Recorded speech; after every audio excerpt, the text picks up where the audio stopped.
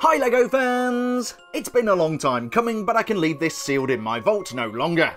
Today, I'm going to be unboxing, speed building, and reviewing set number 76417, Gringotts Wizarding Bank Collector's Edition from LEGO Harry Potter! But that is not all. Oh no, that is not all. I'll be adding the 40598 Gringotts Vault set, which adds an additional and exclusive minifigure. As well as checking out the action features, we'll be getting up close and personal with the minifigures and comparing them to their on-screen manifestations. We will of course be taking a detailed look at the exterior and interior features of Gringotts, plus the secrets which line the vaults beneath. We'll also be checking out the extra vault and the Ukrainian Ironbelly Dragon perched on top. And because it would be rude not to, let's see how this looks combined with the 2020 Diagon Alley set. With some historical facts along the way, we've got a lot to cover, so let's do this!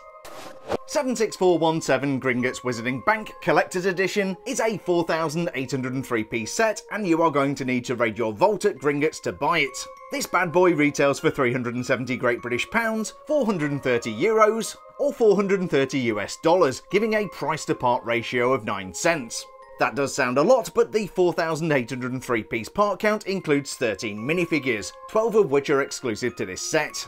In a throwback to Harry Potter and the Philosopher's Stone, we have itty bitty baby Harry Potter in his sand blue jacket. We also have Rubeus Hagrid in a very familiar costume. The remaining 11 characters come from the Deathly Hallows movie. We've got Hermione Granger disguised as Bellatrix Lestrange, Ronald Weasley transformed into Dragomir Despard, an older version of the boy what Gondon lived with dark blue hoodie, and then we got some goblins. We have Griphook in a black pinstripe vest, Bogrod in a dark bluish grey pinstripe suit, Ricbert in a black tuxedo, and then we have a generic goblin with dark bluish grey hair, and a second goblin with dark orange hair. We also have a Death Eater wearing a black hood, a Gringotts guard with light Nougat skin, and a Gringotts guard with medium brown skin. The box art is very minimalist and focuses mainly on the product. This set is designed for wizards over the age of 18, but as we know this is just a marketing ploy to get adults to buy expensive toys. It is a big package, but I do sense a little room inside the box for a little Danish air. That's always such a satisfying noise. The really neat thing about this set, which actually scares the hell out of me, is the way Gringotts is perched on top of the subterranean vaults. Over on the back of the box we get to peek inside Gringotts for the first time. The level of detail doesn't seem to be over the top, but there's enough to recreate scenes from the first and the last movies. I sure hope Mr Harry Potter remembered to bring his key. Very thoughtfully, LEGO has built the bank itself in the same scale as Diagon Alley. We will of course be checking out how that looks later in the video. As I mentioned before, this set is a bit of a beast. The set is 40cm or about 15 and a half inches wide. With the Ukrainian Ironbelly perched on top, this stands 79cm or 27 and a half inches tall. The Ukrainian Ironbelly, which looks freaking awesome, can be removed from the set. One of the more innovative features of this set is the minecart track which goes down to the vaults. LEGO has even included the Thief's Downfall which washes away all enchantments, but more on that later. Helping this to blend into your Diagon Alley, we actually have another shop attached. The Magical Menagerie has a wide range of cats, toads, and of course the indispensable Pygmy Puff. Weighing in at 6.7 kilos or 14.8 pounds, this is a bit of a beast. So was Gringotts worth the wait, excuse the pun? Let's find out!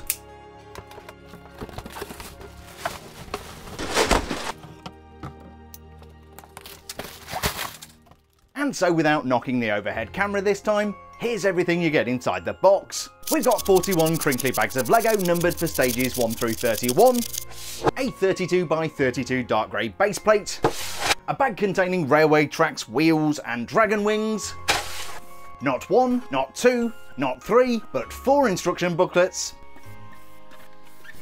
and not one, not two, but three sticker sheets. And trust me, this about spreading Gringotts Bank across two stickers isn't lost on me. I'm going to go ahead and build the 76417 Gringotts Wizarding Bank Collector's Edition, and today this is going to be a 4 minute speed build.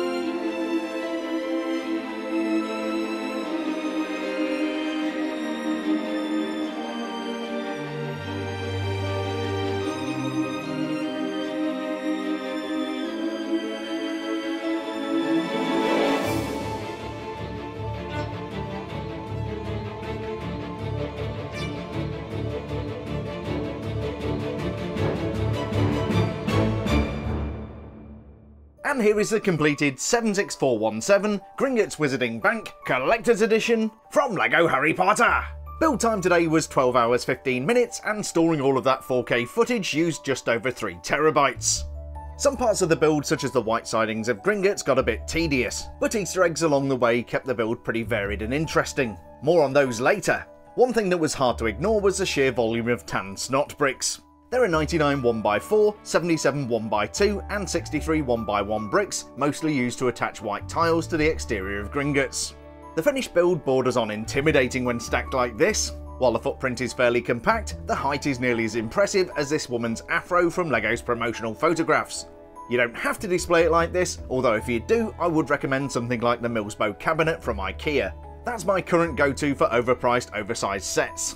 Gringotts Bank can be removed from the subterranean vault structure for easy display. The bank itself looks great as a standalone build, but I can't say so much for the vaults. The bank can also be combined with Diagon Alley, but more on that later. This is not the first time LEGO has brought Gringotts Bank to life, but it is by far the most movie accurate. The first iteration came in 2002 with the 4714 Gringotts Bank set. Interestingly, LEGO has included a few easter eggs from this set in the latest incarnation. A more aesthetically pleasing version came with the 10217 Diagon Alley set in 2021. This is one of my favourite Harry Potter sets from throughout the years and quite valuable with a used price of $235, thanks in part to the unique Weasley Twins minifigures. The interior is a little sparse and LEGO still has a long way to go with the creepy goblins. LEGO resurrected Diagon Alley as a gift with purchase in 2018.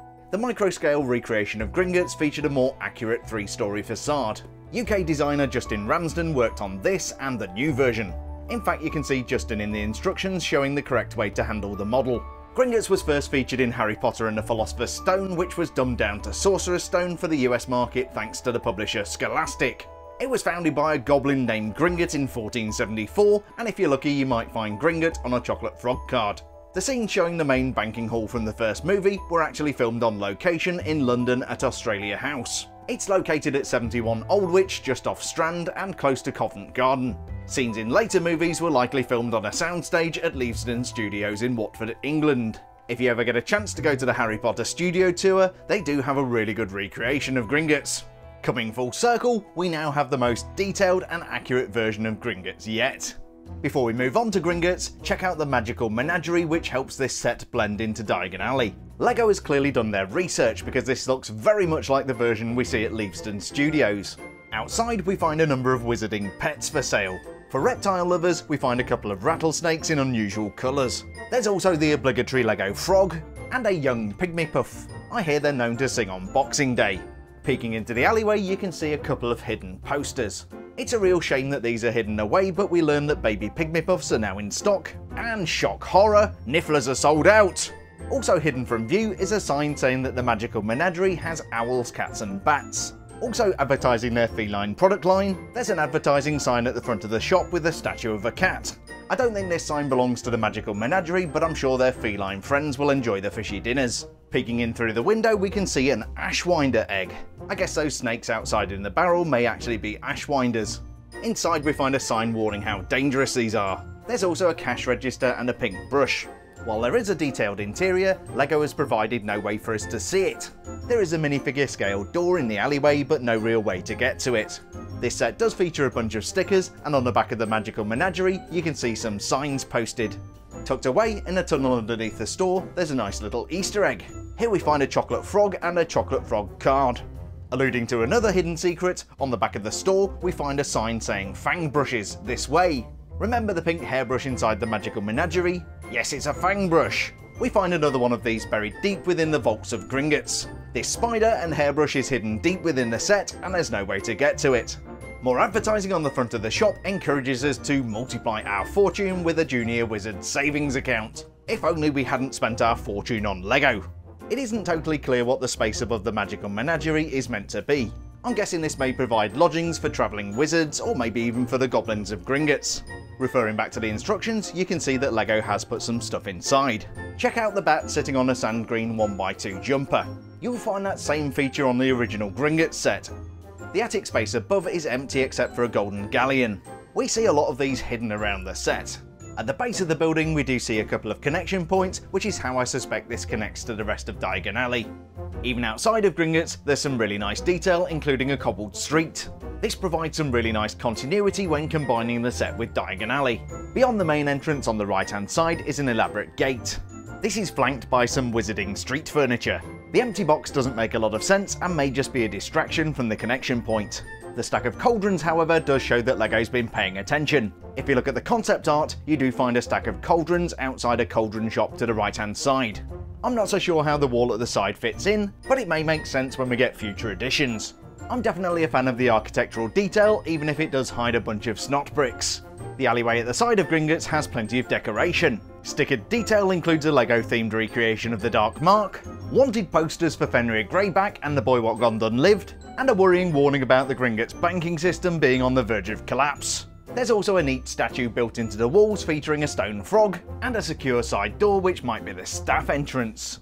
As you'd expect with a Wizarding World set, we do get the obligatory owl, or should I say owls. This one is delivering a letter to the goblins, and the other seems to have abandoned some copies of the Daily Prophet.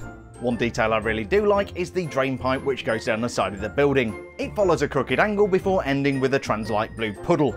Taking the opportunity to add another sticker, there's an advert for pumpkin juice high up on the building. All of this detail may be wasted if you choose to use the connection points on the side. While there is some nice masonry detail towards the back of the building, most of the sides are clad in these white tiles. It reminds me of the marble cladding you see on the Taj Mahal. Historically, banks have always been grand buildings. The impressive secure looking facade gives customers confidence. Far from being just flat, there is some structure to the exterior. Speaking of structure, can you see what I've done wrong here? What were you thinking, man?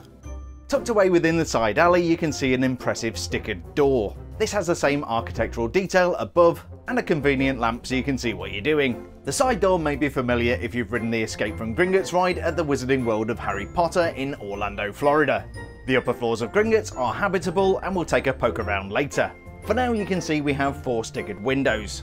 The detail on the opposite side elevation is quite similar. The key difference is this cheeky chappy peeking out from behind the curtains. The most impressive part of the bank is of course the frontage. At ground level we have a certain couple of beloved characters in the way. Expelliarmus! The main entrance to Gringotts is designed to both impress and intimidate. Enter stranger, but take heed of what awaits the sin of greed. For those who take but do not earn must pay most dearly in their turn. So if you seek beneath our floors a treasure that was never yours, thief, you have been warned beware of finding more than treasure there. The front of the bank is absolutely stunning. It's not quite as rickety as the concept art, but you certainly get the impression this hasn't been built to code. On each level we find a window looking out onto a balcony with railings. I love the way the top window has been mounted on a slant to complete the appearance. Addressing the elephant in the room, there was no way I was going to sticker this to LEGO's instructions. The sticker sheet breaks down Gringotts Bank into two stickers. While I don't advocate for sticking one sticker across two parts, I did trim the stickers to make the effect look a lot better. We will be exploring the roof of the bank, but chronologically this is not the right time. For now, we're turning the clocks back to 1991. About 200,000 turns of your time turner should work. This does present us with a bit of a problem. Whilst Harry can squeeze inside, the great big oaf Hagrid is too big for the doors. We'll soon fix that. Unlike modular buildings, the floors of Gringotts don't come apart. Thankfully you can remove the roof which lets in a little bit of light for filming. The spectacular Gringotts Banking Hall modelled on Australia House is where Harry Potter first experiences a famous Wizarding World creature. Hagrid, what exactly are these things? They're goblins, Harry. Clever as they come, goblins, but not the most friendly of beasts. Best stay close. The banking hall is a bit of a funny shape compared to the movie. We're used to it being pretty straight with a row of goblins on each side. Apart from the atypical floor plan, all of the details are here. There are elevated desks for the goblin tellers to work at. These are nicely decorative and each one comes with a matching lamp. I love the fact that these have an elevated platform at the back so the goblins can see what's going on. Each has jumper plates to stand on and check out the easter egg underneath this one. It's one of many coins that you will find throughout the bank. The windows are stickered parts but I like the kind of holographic metallic finish. I'm also a big fan of the decorative mosaic floor which was very satisfying to put together. The set does include a bunch of new parts including these rather nice printed columns. These would not have been fun to put stickers onto. Slightly more difficult to film is the other set of bank teller desks on the other side of the banking hall. Casting our eyes upwards, we find even more detail. In particular, check out the crystal chandelier. It's not quite as fancy as the one we see in the movie, but this is a more than satisfactory recreation. As well as a crystal chandelier, the pillars are topped out with decorative gold parts. I could mention the broken glass on the floor, but that's a story for later. Overlooking the grand banking hall at Gringotts, we find a slightly less grand balcony. This will be where some of the clerical work takes place, but it also hides some secrets. Those of us that follow the history of LEGO Harry Potter might recognise the goblin in the picture. That creepy dead-eyed goblin also appeared in the 4714 Gringotts bank set from 2002. The portrait hangs next to a wall safe which I happen to know the combination to. Inside we find a printed 1x2 tile which Professor Dumbledore gave to Hagrid to hand to the head goblin. It's about you know what, in vault number you know which.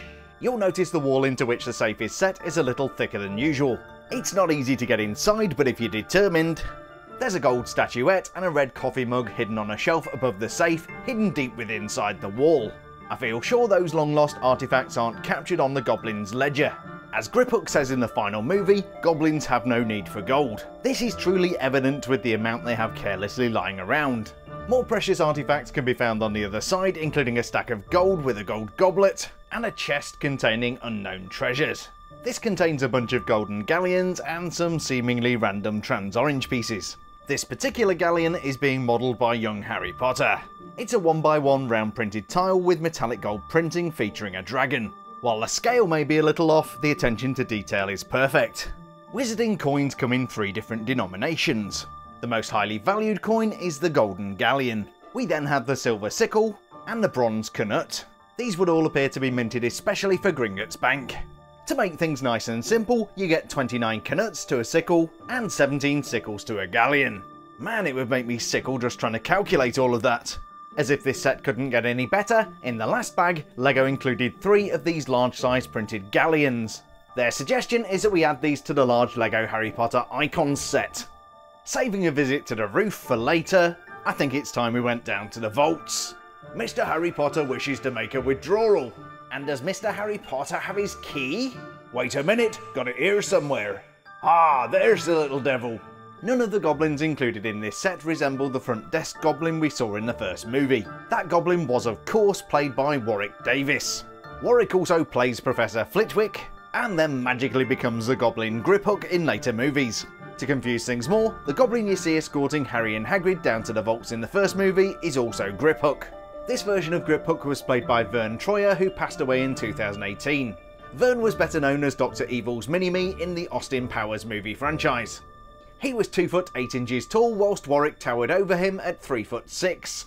Beneath the Wizarding Bank we find cavernous tunnels which lead miles underground and stretch out beneath the streets of London.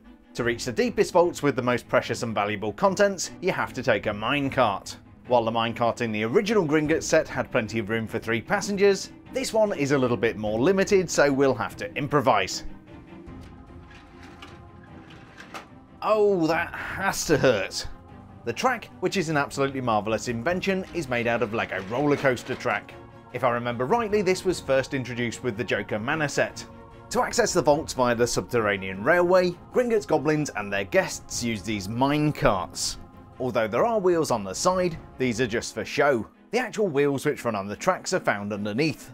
These spin freely allowing the cart to move at speed. As far as we know, the Gringotts minecart only has one speed, and that's too fast for Hagrid. If you look carefully at the LEGO version, you'll notice flanges to stop the cart flying off the track. It's pretty much the same mechanism you see on roller coaster cars. There is a connection point on the back for making a train of carts, but for our purposes we only need one. In terms of capacity for our three minifigures, this falls well short. At least LEGO managed to include the large lamp which is mounted prominently on the front. As I alluded before, the large wheels on the side are purely decorative. This is actually a set of rims from a LEGO Speed Champions set. Before we go on a wild ride, let's take a moment to appreciate the actual structure of the vaults. Each corner has a raised right angle which keeps the bank firmly in place. Whilst the four arms are mainly practical, they are somewhat decorative. There are some large rock pieces and a nice selection of earthy colours. Another detail you'll notice is that these are dripping in stalactites. How do I know these are stalactites and not stalagmites? Well, tights come down of course. For my American friends, tights are what British people call pantyhose. Of course, being a subterranean cave system, you won't be surprised to find a bat down here. I'm Batman. No, not that kind of bat!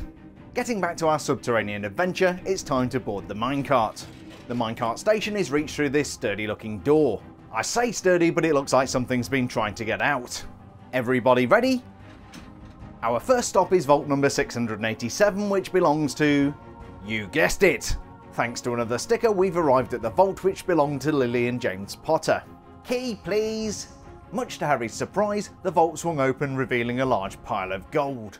Were James and Lily Potter early investors in Apple? No, they got rich off the family business. Harry's grandparents, Fleamont and Euphemia, created a line of hair care products you may have heard of. This insufferable know-it-all is a big fan of their hair potion. Yes, Fleamont invented the Sleekeazy's line of hair potions and scalp treatments. You didn't think your mom and dad would leave you with nothing now, did you? Helping to make sure we don't miss our stop, there's a really cool mechanism outside of the vault. See what happens when I lift the signal. This causes the train to stop in exactly the right place. Likewise when it's time to move on, we simply change the signal. It's a simple but effective system which uses gears to raise a physical barrier between the tracks. Our next stop takes us even deeper into the subterranean vault structure. Vault 713 holds a very different secret. Notice how the vault number combines two very significant numbers. 7 is a very powerful magical number which is why Voldemort split his soul into 7 parts. 13 is also steeped in superstition. No key this time, just some very powerful goblin magic which seems to involve a lot of hand waving. This special vault, which you can also see at the Harry Potter Studio Tour, is the reason for the top secret letter that Hagrid brought from Dumbledore. In this vault lies a single artifact, the Philosopher's Stone. You can say all you want, but you'll never convince me it's called the Sorcerer's Stone. The Sorcerer's Stone was created by famed alchemist Nicholas Flamel. Thanks for the research, Hermione. Did you know that Nicholas Flamel was actually a real person and an alchemist? He was born in 1330 and died in March 1418. Nicholas Flamel, both in the book and in real life, is credited with discovering the Philosopher's Stone. Does that say Sorcerer's Stone? Ah ah ah. Anyway, Hagrid takes us back to Hogwarts and all kinds of adventures ensue. I've covered all of that in different videos, so feel free to go check it out. Only one vault remains in the standard incarnation of this set. Unfortunately, Harry, you're going to have to come back in about 6 years. About 210,000 turns on the time turner should do it. Same bank, different day.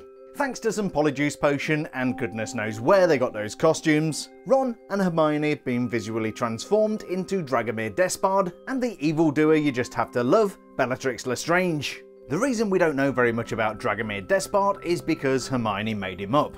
He was alleged to be a visitor from Transylvania who spoke very little English and was interested in the Dark Lord's plans. Whilst Hermione and Ron transformed using Polyjuice Potion, Harry and Griphook had no such luck so they had to use Harry's Cloak of Invisibility. Now let me see, where does this appear in the parts list for this set? Okay. Uh-huh. Hmm. Well, thanks LEGO, that's gonna make life a little bit difficult. Thankfully for you, my awesome viewers, I just happen to have a spare hanging around. No, not that kind of spare.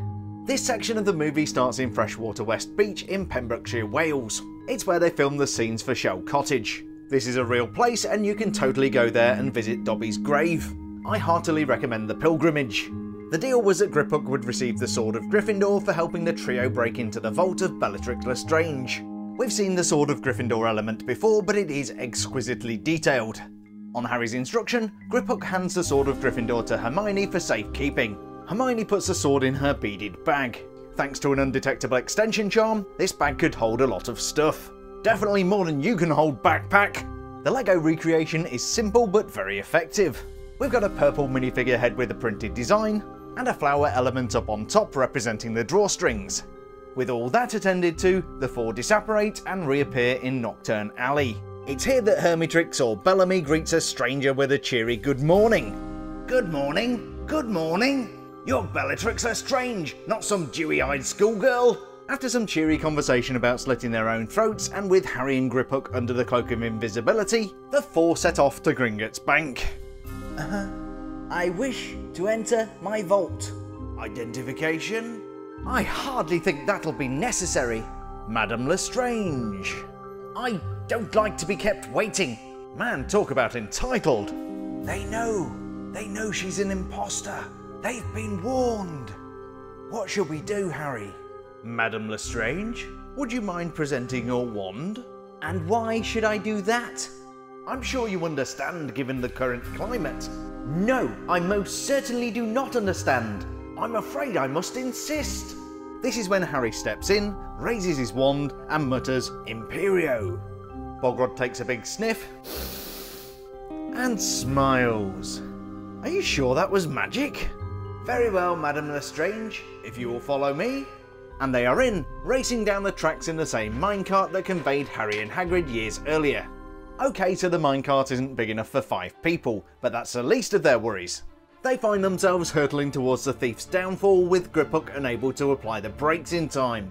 The Thief's Downfall, picked out in trans blue elements, is a powerful magical waterfall which washes away all enchantments. That includes Polyjuice Potion and also the Imperius Curse. The cart comes to a halt and jettisons its passengers high above the deepest part of the vaults. They're saved in a nick of time by Hermione using the Arresto Momentum spell. Stranded, the adventurers consider their next move. Oh no, you look like you again. Way to make a compliment, Ron. What the devil are all of you doing down here? Thieves! Another dose of the Imperius Curse soon puts Bogrod back in his place. In the wider scheme of things, Bogrod turns out to be just a minor inconvenience. Bloody hell, that's a Ukrainian Ironbelly. More on this little beauty in just a few minutes. While it's generally accepted that the dragon is abused by the goblins, he or she does at least have a regular feeding schedule. I'm a little worried about what or who might be on the menu. While that may be changed, there's also a pitchfork to clean up dragon poop. You'll also notice that down here we have the opposite of stalactites. These point upwards and of course are stalagmites. The other thing we find is a box containing some interesting objects. These are known in the trade as clankers. It's been trained to expect pain when it hears the noise. That's barbaric. Nonetheless, Ron joins in, allowing them to subdue the dragon and sneak past. Finally, they reach the Lestrange Vault. Instead of needing a key, the door to the vault just melts away when Bogrod touches it. It's really cool that LEGO used negative space on a mirrored sticker to represent the minifigure's hand. In the movie, the Lestrange Vault is absolutely full of gold. The LEGO version is a little bit more sparse. We do see some stickered detail in the back, but apart from that there's just a single golden chalice. For reasons that are revealed later in the movie, the chalice whispers to Harry. At this point, Hermione happens to touch one of the artifacts and it splits into two. The Gemino Curse. Everything you touch multiplies. As Harry climbs towards the cup, setting off a chain reaction of the Gemino Curse, he commands Griphook to throw him the Sword of Gryffindor. Now the Gemino effect doesn't really work on LEGO, but we do have a cool action feature. As Harry reaches for the cup, resetting the Gemino Curse action feature is tedious to say the least. It's done by inserting a bunch of LEGO goblets through a diamond shaped opening at the top of the vault. It's a really neat feature, but once you've reset it a couple of times, it all becomes a bit of a hassle. To cut a long story short, they're all nearly killed by the Gemino curse. Griphook holds Harry to ransom, forcing him to swap the cup for the sword, and the double-crossing so-and-so leaves them to find their own way out of the vaults. Getting out is not going to be easy, but at least they have the Horcrux. The Horcrux in this case is represented by a simple Lego goblet. The real thing was created by Helga Hufflepuff and was rather more elaborate. It came with two finely wrought handles and was decorated with a badger, the lame symbol of Hufflepuff House. I mean, come on. Gryffindor had a lion, Slytherin had freaking snakes, even Ravenclaw could manage an eagle, and those lame Hufflepuffs came up with a badger. With Griphook gone and Bogrod still delirious from the Imperius Curse, the next challenge for the trio was going to be getting past the Ukrainian Ironbelly. For one of the visitors to the vault, this was going to be his last adventure. Oh, that's unfortunate.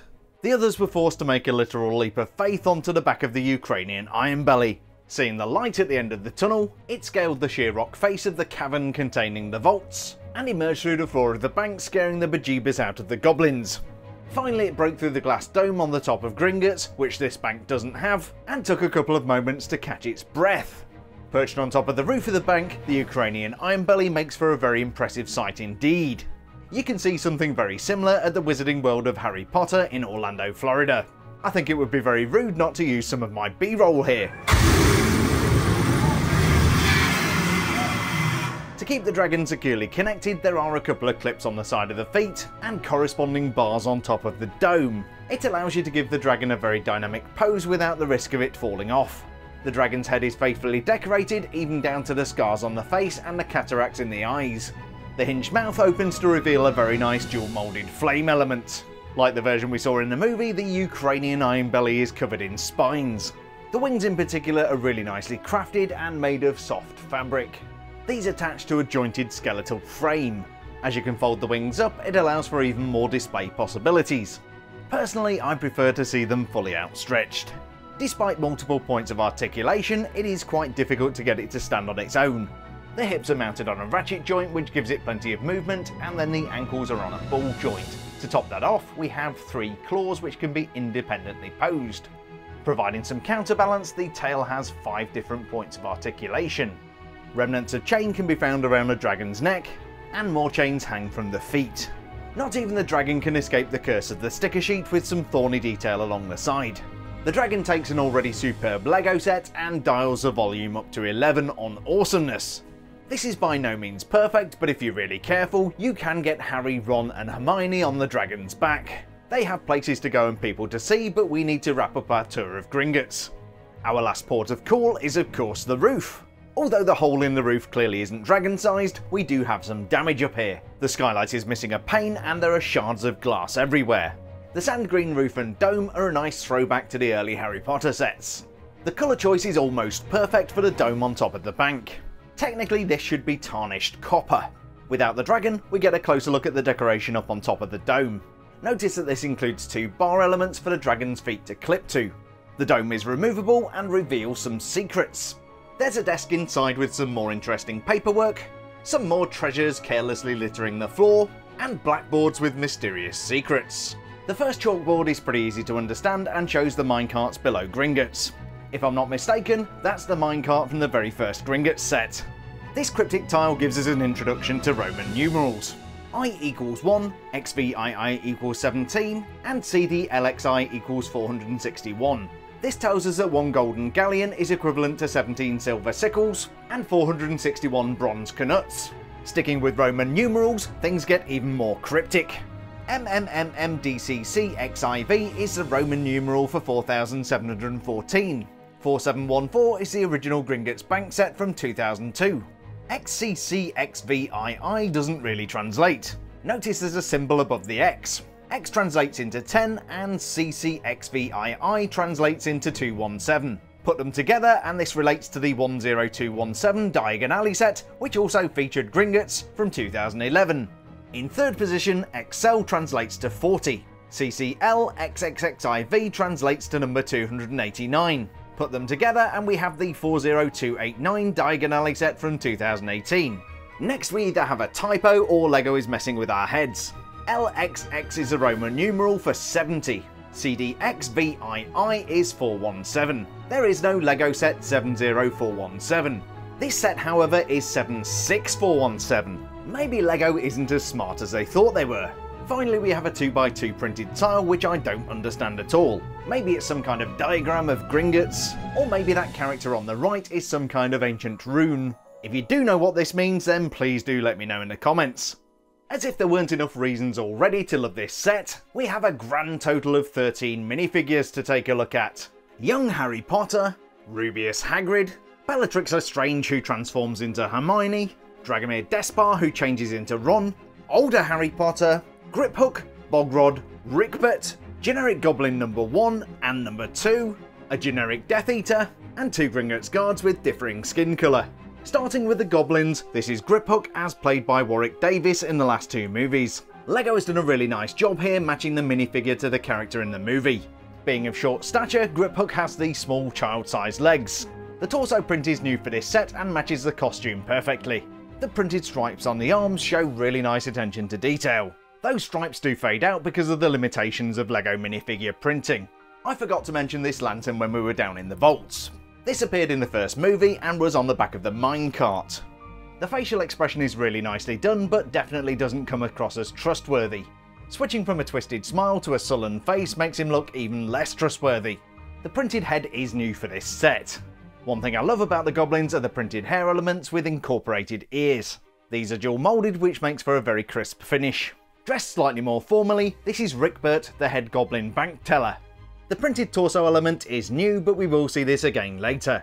The main facial expression is calm and benign, but turns into something positively evil. This is a new but not exclusive facial print, you'll be seeing this again. Also in a new colourway with the white hair is the dual moulded hairpiece. If it wasn't for that face not being quite right, this would be an almost perfect Ricbert. Sharing the same hairpiece, this is Bogrod, who has by far my favourite name of all the goblins. Bogrod is looking rather dapper in a dark bluish grey pinstripe suit. It's not exactly the same as we see in the movie, but it's a good approximation. The pinstripe detail is really crisp even on the back of the torso. It's a new printed element for this character, but I'm sure we'll see LEGO use this again. Also new and exclusive to this character is the facial print. The details are great, even down to the glasses. But what I love is the alternate expression showing Bogrod after he's been roasted by the dragon. This elevates the minifigure to a whole new level. The other two goblins aren't important enough to have their own names. We shall call them Sparkmac and Mogglewog. They both wear the same very smart suit. The torso print is new and incorporates some really nice gold metallic detail for the pocket watch chain. The dual moulded arms are an intriguing detail. I'm not certain why we have the shirt sleeves at the top and then dark detail at the bottom. The dual moulded ginger hair and ears combination is a new colourway for this element. It's also really useful for recreating one of the more generic goblins from Deathly Hallows Part 2. The facial print is exclusive at this time and quite unusual.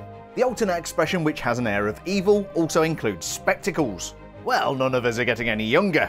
The other goblin has a facial print which you might recognise. This was also used for the Ricbert character. Also being reused is the hair and ears element that we saw on Griphook.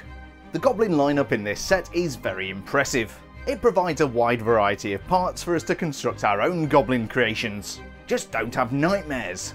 There is another goblin to come, but more about him soon. For now let's focus on Hagrid and little Harry. Hagrid is a great minifigure, if indeed you can call him a minifigure. The disappointing thing is that this version of Hagrid has been used since 2018. He first appeared in 75954 Hogwarts Great Hall, and was reprised in 2019 with the 75947 Hagrid's Hut Buckbeak's Rescue. In 2002 we got him in the 75978 Diagon Alley set, and finally he appears in the 75423 Hogwarts Express and Hogsmeade Station set. That's on my extensive filming backlog. Fitting in perfectly with the Philosopher's Stone movie, Hagrid has his pink umbrella. This conceals remnants of the magic wand which Hagrid isn't supposed to have.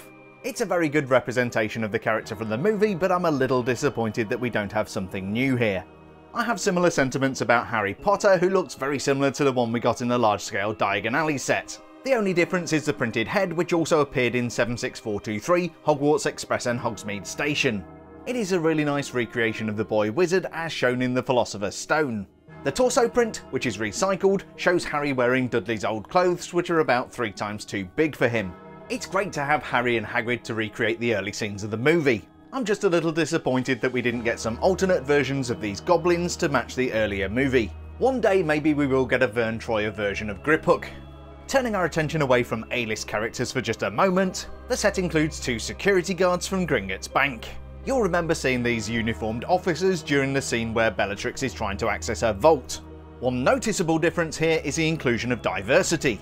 I'm pretty sure the security guards shown in the movie were white men, but a lot of time has passed since 2001. Not that we should assume gender identity, oh god there goes the comments again, it does appear we have a woman of colour guarding the bank. Like any self-respecting witch or wizard or whatever they call themselves these days, each of the security guards comes with a black wand. The uniform consists of dark blue pants, a printed torso, and a dark blue hat. Both guards come with the same printed torso design which has some really nice metallic accents. The printed detail is crisp and clean and identical on both guards. These are catalogued as different torso elements on account of the different skin colours for the hands. The facial prints are not exclusive and have been used on other minifigures. As the hats do not cover the back of the heads, we only have one facial expression. I'm pleased to see the guards included as they are a small but integral part of the story. Likewise, we should have probably got Voldemort and a bunch of goblin body parts. The second Harry minifigure ages him by about 6 years. Harry comes equipped with a wand and a facial expression which suggests he may be about to use it.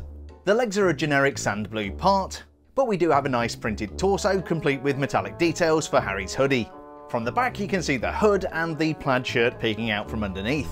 It's not a difficult or elaborate costume to recreate, and the designers have done an okay job. The facial print is exclusive to this set, but this is not my favourite expression. I much prefer the wet face we see after Harry has been plunged into the thief's downfall. This is not one of the standout minifigures from the set, but LEGO has done a good job with the material they had to work with. Before we get to the stars of the show, let's take a look at this oddity. This is of course one of Lord Voldemort's Death Eaters, but does not appear to my memory in any scenes involving Gringotts Bank. The printed detail on the legs lines up very nicely with the torso print. Especially impressive when you realise these legs have been used in 14 minifigures. The printed torso is exclusive and includes a little metallic detail for the belt. The torso has more printed detail around the back and incorporates grey arms and black hands. The head is exclusive to this character and includes some really nice metallic printing on a black background. Each of the designs has been printed really nicely and pops on that black background. The hood is not new but perfectly complements the character. I'm still unclear as to why there is a Death Eater in this set, but if you were looking for a great example of a Death Eater minifigure then here it is. Saving the best for last we get 4 minifigures for the price of 2. Dragomir Despard, as you'll recall, is an alter ego for Ron made up by Hermione Granger. He was described as being a Transylvanian wizard who spoke very little English. Very convenient for avoiding awkward questions. Saving a little money, you'll note that Dragomir has the same printed legs as the Death Eater. The printed torso is exclusive and boy do those metallic details pop against the black. More printing on the back of the torso picks out a couple of folds and the hood of the robes. LEGO's attention to detail in bringing Dragomir to life in minifigure form is very very good indeed. I don't know where Hermione got the hairs to make this polyjuice potion, but it's super convenient that Dragomir looks very much like Ron. If my memory serves me right, the hair is a little shorter than it appeared in the movie. It's an existing mould but does appear for the first time in this new colourway. Also unsurprisingly exclusive is the facial print. Do I hear the thief's downfall approaching? This character comes with alternate hair and alternate face. As you can see, Dragomir has transformed back into Ron. While this is most definitely Ron, I do kind of prefer him as Dragomir. Next we have Hermione Granger transformed by Polyjuice Potion into Bellatrix Lestrange. It was really good fun in the movie watching Helena Bonham Carter play Emma Watson trying to play Helena Bonham Carter. This lady is an absolute top-notch actor. Everything you see here with the exception of the hair is new for this set. The bottom of the robes have some really nice but subtle metallic details. What makes this extra special is that LEGO has actually printed the curved part on the back. The printed detail is absolutely stunning and beautifully recreates the character we saw in the movie. The hair, which has been used for other Bellatrix Lestrange minifigures, is absolutely perfect. Equally satisfying is the terrifying face of Bellatrix Lestrange. Like Ron, we have an alternate expression covered in moisture, and alternate hair which shows a very bedraggled Hermione. The alternate appearance of a wet Hermione is equally satisfying. I'm very tempted to get another set of minifigures so I can display both variants. The hair is not a new mould, but this is the first time in this reddish brown colourway. I'm a big fan of these two minifigures in both of their forms. They've been a great deal of fun to film with and I hope you enjoyed the little storyline. Now I know that this video is running a little long, but I did promise to share some bonus material. This is the 40598 Gringotts Vault set, which was a free gift with purchase. Thankfully I have a couple of these, so I don't mind opening one for you guys. It's a 212 piece set and you can pick one up from sites like eBay or Bricklink for about $40. This adds an extra vault to the track and makes the whole thing a little bit more awkward to display. As you can see on the back of the box, this is very much designed to go with the Gringotts Bank set. Interestingly, you can also use this as a money box for your savings, but being a serious LEGO collector, I don't have any. Let's check out what's inside this little beauty. It's pretty much what we'd expect. We've got four numbered bags of Lego, a single section of train track for the cart, a 78 page instruction booklet, an 8x8 perforated plate, and the dreaded sticker sheet which refuses to lie flat. I'm going to put this together and then we'll see how it looks connected to Gringotts.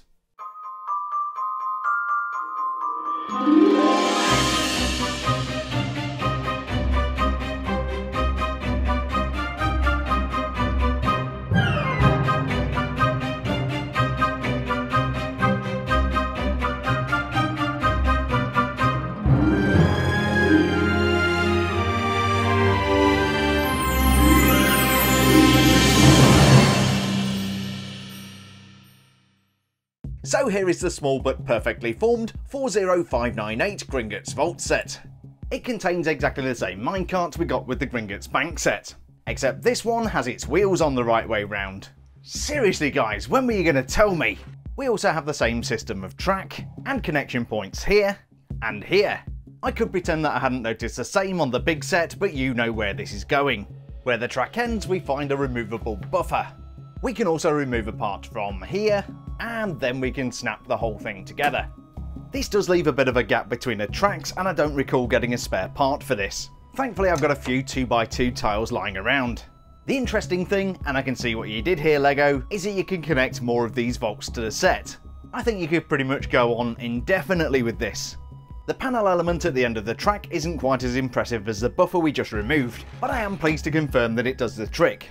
This new vault is styled similarly and has no vault number. This sticker detail can also be found on the vault of Madame Lestrange. The design is very similar and also features an opening door. Unlike the other vaults, this one is completely empty. A unique and interesting design feature of this vault is the slot up on top. Are you thinking what I'm thinking? Maybe LEGO had a different idea for these coins after all. Now you could try and fish the coins out via the vault door, but frankly my fingers aren't long enough. Instead, LEGO included a removable panel on the back. So as not to spoil the magic, there's even a ladder on the inside of the vault. As I mentioned at the top of the video, this set comes with a goblin which is technically exclusive. He comes with one of the printed galleon tiles which we find littered around Gringotts.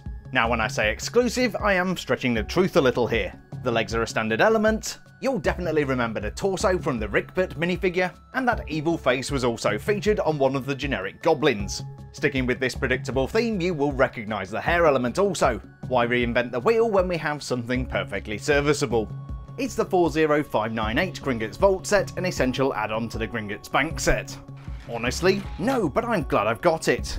Of course, the bigger question is, is Gringotts Bank an essential part of the Diagon Alley set? Now there's a question we need to answer. Switching to the fancy wide angle lens, this is by far the best way to display this. Set at a right angle, you get a really good view of Diagon Alley as it dovetails into Gringotts Bank. The other nice feature is that you get really nice continuity when it comes to the cobblestones. It makes for a beautiful and immersive display, especially when you add the dragon on top. But of course for most people, me included, this is horribly impractical. Setting these buildings at a right angle is incredibly space intensive. Setting all the buildings out in a row is definitely the most practical option. Even so, you'll need more than 50 inches of shelf space and that shelf must be at least 10 inches deep. Gringotts is built more like a modular whilst the other buildings are on half plates. This means that Gringotts juts out, and that's why we have an archway to continue into the rest of Diagon Alley. The end result is by far the most immersive version of Diagon Alley that LEGO has ever made, and probably ever will. I think somebody at LEGO just said hold my beer. Thankfully I spent most of my January working on display space in the basement and I have just the place to display this. For the most part I have every LEGO Harry Potter set sorted into chronological order. There are some exceptions due to size but thankfully the dream is becoming a reality. After months of waiting, the Ultimate Gringotts Bank became a reality for me and I couldn't be happier with the result. If you're still on the fence about buying this, then definitely go push the button. It's everything I expected and more. Not only did this take a long time to build, it also took a lot of time to script, film and edit. I hope it was worth the wait and now I'm going to knock out some smaller sets from the latest wave. If you did enjoy the video then a thumbs up is always appreciated and don't forget to subscribe for more LEGO Harry Potter awesomeness. Thanks a million for checking out my Ultimate Gringotts Bank review, stay safe and I'll see you on the next video.